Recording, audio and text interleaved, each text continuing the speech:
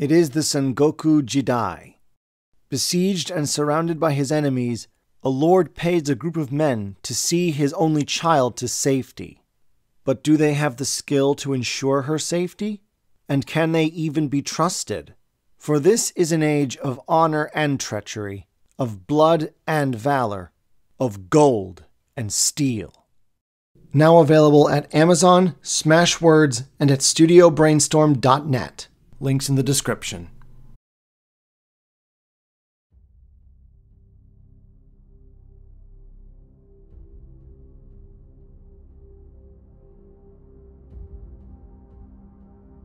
Being creatures of rage, the werewolves of Werewolf the Apocalypse are not exactly subtle with their emotions most of the time.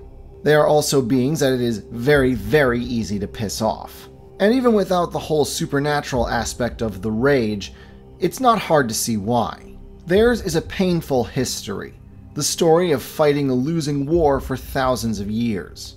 But some losses are far more painful than others and there have been no losses more painful in the history of the Garou Nation than the three times that one of their own was lost forever. The three lost tribes the Bunyip, the Croatan, and the White Howlers. This video will focus on the Bunyip. The story of the Bunyip begins with the Impergium and the War of Rage. The Bunyip were among the tribes that disapproved of both the mass culling of humanity in order to stop them from causing trouble and conflict with the other changing breeds. But unlike others, say the Children of Gaia or the Stargazers, the Bunyip didn't just disagree, they decided that they wanted nothing to do with the rest of the Garou nation and left the old world. They weren't the only ones to do this, mind you, but where the three brothers migrated north to America across the Bering Land Bridge, the Bunyip went south, island hopping from Malaysia through Indonesia and finally arriving in Australia. Two problems confronted the Bunyip upon their initial arrival. One, there was no native wolf population in Australia. Two, they soon discovered that they were not the only changing breeds in the land down under. The Rokea, or were sharks, inhabited the oceans surrounding Australia, while on the continent itself there were some Camazotz, or were-bats, a group of Naga, or were-serpents, the Ananasi, the were-spiders, and the Mokolé, in this case mostly were-crocodiles. Given that the werewolves had been the ones to instigate the War of Rage, there was a very good chance that the Bunyip might not have been welcome in their new home. Luckily, the Rokea would just ignore them so long as they didn't go into the ocean, and they were successfully able to persuade the Camazotz and the Mokolé of their good intentions. The Bunyip were indeed one of the most peaceable of all the tribes, and certainly were eager to disavow the War of Rage and all the other nonsense their cousins back in the Old World were doing. The Naga, who essentially functioned as the ones Gaia entrusted to eliminate other shapeshifters that fell to corruption, saw common ground with the Bunyip and even revealed their existence to them. This, of course, got the Australian Naga in trouble with the rest of their kind because they're supposed to remain a secret even from the other shapeshifters, but that's a story for a future video. The Ananasi, on the other hand, were not so welcoming. It's never been explained why, but the Ananasi did not like the Bunyip at all, and indeed from the very beginning sought to bring about their slow demise. In the meantime, though, the Bunyip were able to win enough friendship from the Mokolé that the great were crocodiles decided to teach the Bunyip a special rite that would enable them to make up for the lack of wolf kin by breeding with the thylacines, or Tasmanian tigers as they're sometimes called, basically the closest thing to wolves that Australia has, at least in terms of physiology. Humans may have lived in Australia since the 40,000s BC, but dingoes didn't arrive until at least 4000 BC. Very little is actually known about the Bunyip in terms of how they lived or carried out their duties to Gaia. In universe, this is because they were very, very secretive and did not share anything with outsiders when those outsiders eventually showed up. There's not even a consensus on what their tribal totem was. One source book says that it's Bunyip, and that just like some of the North American tribes, the Bunyip named themselves after their totem. Another source book, however, claims that their totem was Rainbow Serpent, a very commonplace creator god figure appearing in multiple different Aboriginal cultures. One of the few details that is known for certain is that the Bunyip had one of the most powerful spiritual connections of all the tribes, to the point where they almost never needed a focus in order to step sideways into the Umbra. They just did it. They also had greater self control than any other tribe, as they almost never frenzy, and there are no accounts of any Bunyip metis ever existing. Their cairns were set up so that all Bunyip could use any Bunyip cairn, regardless of what community they happened to belong to. No rituals required. Of course, the same does not apply to non Bunyip Garou, who can't access any Bunyip cairn unless they know the proper outsider rituals, and those are few and far between. The only known aspect about the Bunyip's political culture was this event known as the Corroboree. Every rare now and again, the Bunyip, along with their human and thylacine kinfolk, would gather for what is essentially a combination celebration slash council meeting. There would be music, singing, storytelling, dancing, but also serious business being discussed. The Corroboree would last all night, and in the morning, the Bunyip themselves would scatter back to their respective territories, while their kinfolk might choose to remain to continue the celebration part. The Bunyip tribe had no central organization. It was merely a scattered grouping of various communities all across the continent of Australia. There was very little communication, if any, between different groups, and it was almost impossible for them to organize. Two factors that would ultimately prove fatal.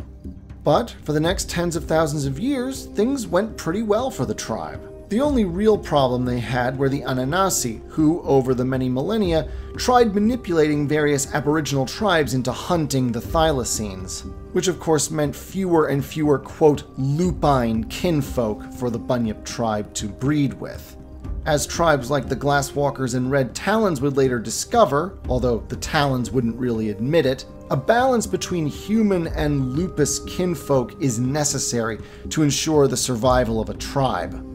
But the Ananasi are nothing if not patient, and the decline of the Bunyip was a very slow one, likely too slow for them to notice.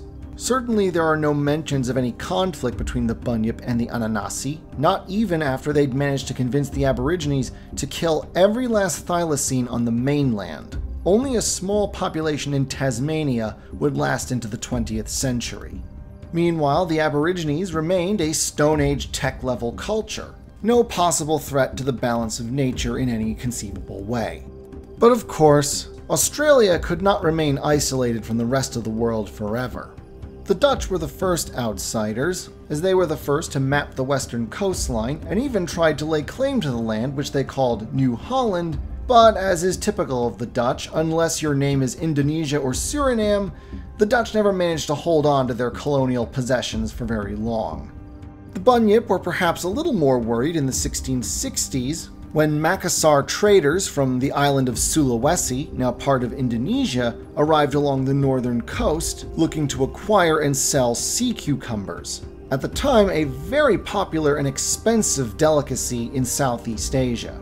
They negotiated with the northern coastal tribes for the right to harvest sea cucumbers from the local waters and even employ local tribesmen in order to help acquire them.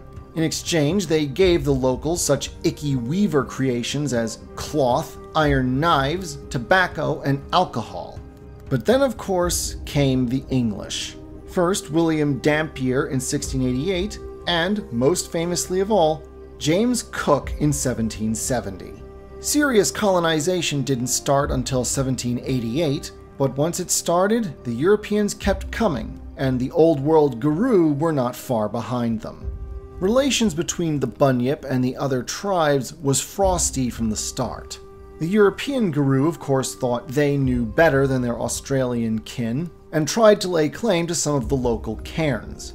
Meanwhile, the Bunyip held themselves aloof and secretive, avoiding interaction with the newcomers whenever possible, but not hesitating to resort to violence if it came to defending their cairns. And it was in these tensions between Bunyip and the rest of the Garou that the Black Spiral Dancers saw an opportunity. A most perfidious member of that benighted tribe, Mara the Scream, decided to engineer a plan by which they would trick the rest of the Garou nation into wiping out the Bunyip for them, thus depriving Gaia of another tribe of servants. In the 1930s, Mara the Scream tracked down and brutally murdered Greyflank, the sister of Wyrmbater, the leader of Australia's Red Talon community. She made sure to leave the body somewhere and create all kinds of signs around it that would suggest that it was the Bunyip that did it. Mara knew full well that, like most Red Talons, Wyrmbater was not a creature inclined to rational thought. Like most of his tribe, he was a creature of instinct and rage. To his eyes and his nose, the tracks looked like Bunyip, and the scent on his sister's corpse smelled like Bunyip. Therefore, it had to be the Bunyip, and he wanted their blood. Although some advised caution, suspecting that something was up, Wyrmbater was able to persuade most of the European Garou in Australia to side with him in a campaign of extermination against the Bunyip, thus beginning the War of Tears. And so the Bunyip died, one by one, community by community. They never put up a united front against Wyrmbater and his allies. To the end, they lived and fought as they had always done, in small little groups, separate and often not even communicating with one another. And so, Wyrmbater and the others picked them off one by one. The Red Talon leader himself killed the very last of the Bunyip, at which point Mara the Scream chose to reveal herself and reveal her plan that it had all been her doing, that she had murdered Greyflank and tricked Wyrmbater into killing off his fellow werewolves, his fellow loyal servants of Gaia. Then, just to really twist the knife, she presented the rotting skull of Greyflank to her brother. Wyrmbater was nearly driven mad with shame and grief. After revealing to the other Garou what had just happened, he disappeared and was never heard from again. To this day, the War of Tears remains a black mark of shame that almost all the other tribes must bear. They had allowed their suspicions and their arrogance to cloud their judgment and had done the work of the Wyrm for it. The most notable legacy of the War of Tears is that ever since, the Australian Umbra has been especially hostile to anyone trying to step sideways, especially other Garou. The Bunyip were no more. Their aboriginal kinfolk would live on, one way or another, some even becoming kin to the other tribes, but the last thylacine would die in 1936, rendering the species completely extinct. In the early 2000s, a child of Gaia Theurge named Cernunnos was able to successfully clone thylacines from DNA, and believes that he is well on his way to restoring the bunyip, producing a small litter that underwent their first change within two years of their birth. But dark rumors surround this particular endeavor, and Kernanos may well be blinded by his optimism to a darker reality concerning his restored Bunyip. As for the rest, that's for tabletop players to decide. Special thanks to subscribers The Soul of the Dragon for voting for this on Subscribestar. See, voting does matter, people, so join up.